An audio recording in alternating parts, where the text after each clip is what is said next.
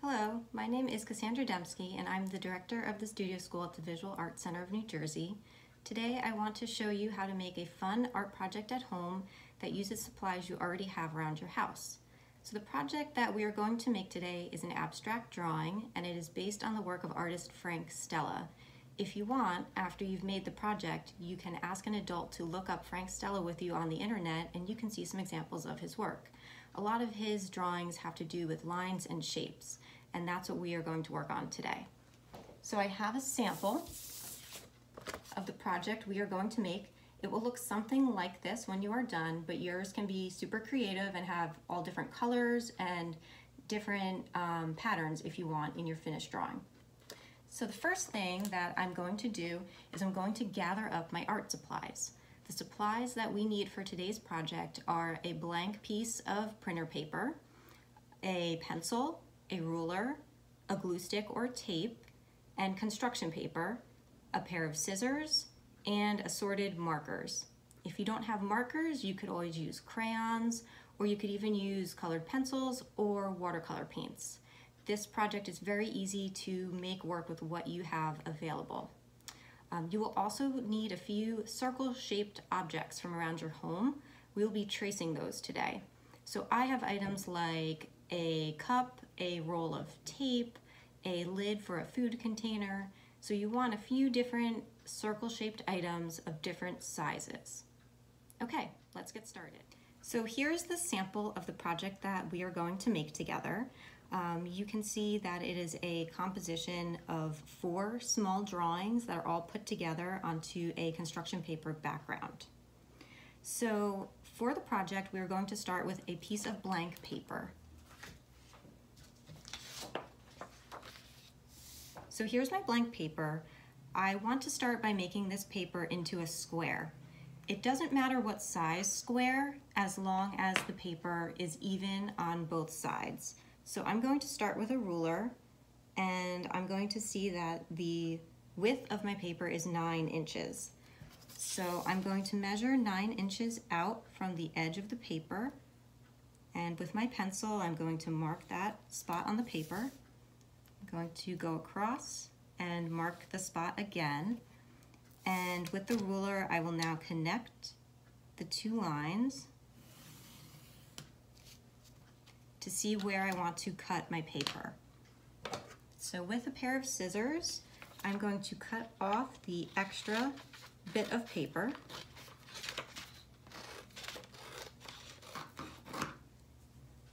Okay, so my work surface is now a nine inch square. Um, yours can be any size, but it works out easier if you start with a square. Um, so I also have this piece of extra paper, which I'm not gonna throw away. I'm going to keep this because you could always make a future art project out of this. So just put this aside with your other art materials for later. And now working with our square, um, we are going to draw a series of overlapping circles all over the paper. So to make this easier, I've gathered a few items that you might have around your house that you can actually trace. So items like a cup. The cup has a small circle on the bottom and a large circle on the top. You can trace either one of those. Um, you might have lids for um, food storage containers that are circles. You might have some plates. You could always trace the inside of a roll of tape. Or smaller circles, you could trace things like small bottles. Um, this one is white out, but maybe you have a nail polish bottle or something else that is a circle. And you want to have a few different size circles um, for your drawing. So what I'm going to do is I'm going to start by taking my cup. I'm going to put the large side of the circle down and with a pencil I'm going to trace the outline of the circle. Then I'm just going to move the cup around and trace a few more circles.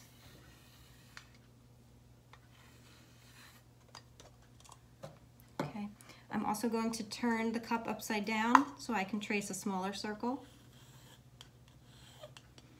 And if you are really good at drawing circles, you can draw these freehand.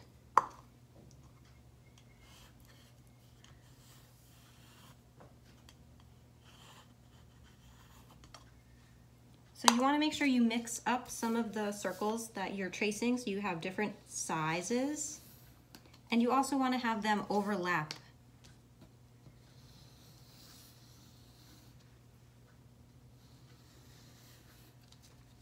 Okay, and I want to add some small circles. So I'm going to take my small bottle and trace that. And you can also have some circles that are going off of your paper. So you trace them and you can see they hang off of the paper. Okay, and I'm going to do one more. I'm going to use this roll of tape. I'm going to trace the inside of the roll of tape. So you can cover your paper with as many circles as you want. Uh, it all depends on how long you want to spend on your project. Okay, so now I'm going to take my circle items and move them out of the way. And the next step is to take a black marker like this, and I'm going to trace all of the outlines of my circles.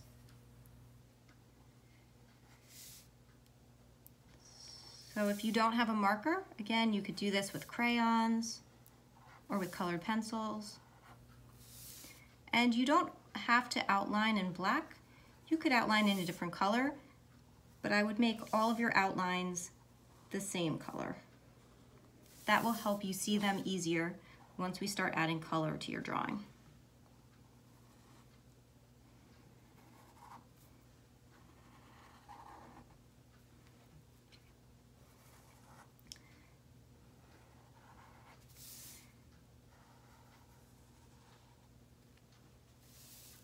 Okay, only a few more for me to trace.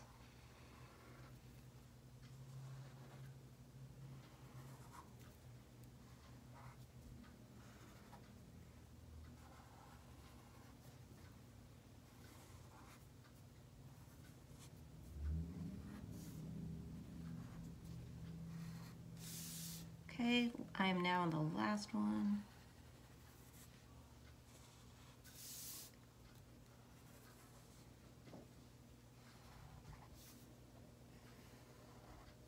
Okay, so I have outlined all of my circles.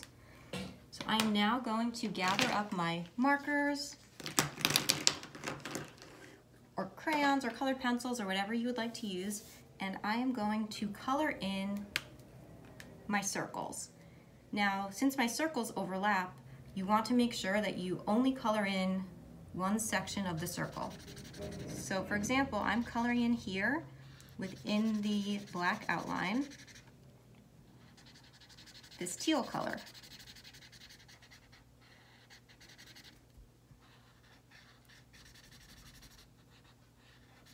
Okay, now I do not want to color in this section of the circle the same color.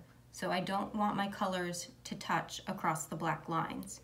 So I'm gonna do another circle in teal. I'm gonna do this one over here in teal.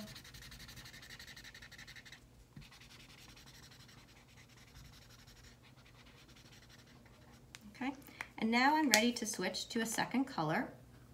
I'm going to try orange. Now I'm going to color in this half of the circle in orange. Okay, so now since this section is orange, we do not want this section to be orange. So just make sure your colors don't touch.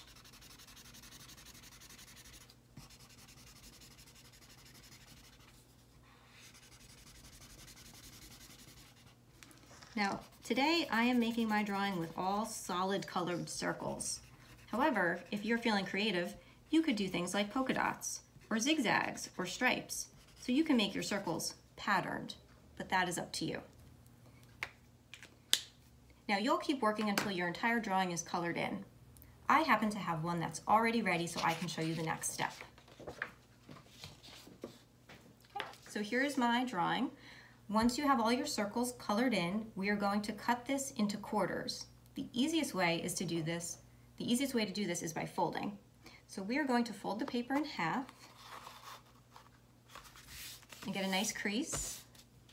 We're going to open it up and fold it the other way in half. And again, get a nice crease. Okay? And now with a pair of scissors, we are going to cut along the lines.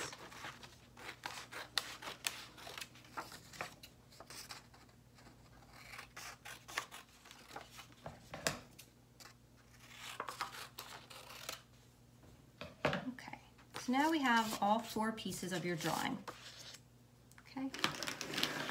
And the final step is to mount your drawing onto a piece of construction paper. So you can choose what color you want. Um, depends on how you like your colors together.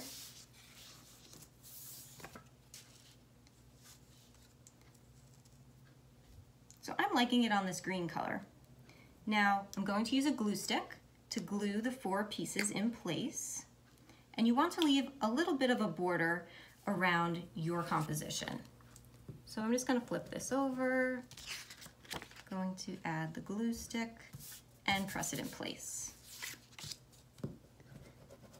Now you also want to make sure that you've moved your pieces of your drawing around so that the original lines do not line up.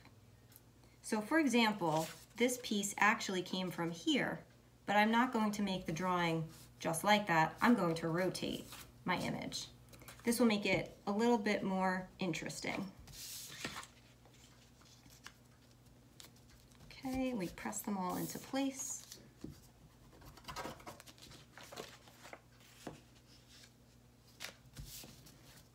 Okay.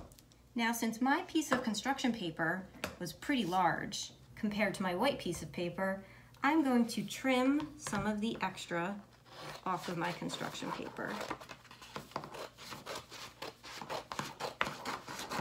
Okay, now again, don't throw this piece of paper away. You could always make a future art project with this.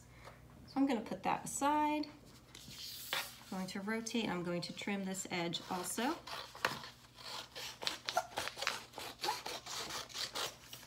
right, so there you go. Here is our completed project. Well, I hope you had fun watching this video. I hope you enjoy making the project, and we would love to see you at the Visual Arts Center very soon. Thanks for watching.